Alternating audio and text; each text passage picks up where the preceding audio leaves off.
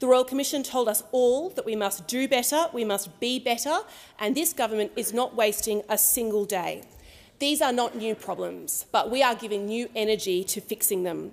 And we have already directly addressed 37 Royal Commission recommendations. That is four times more than what those opposite did in 17 months. We are putting nurses back into nursing homes 24-7 to improve clinical care and to reduce trips Order. to hospital.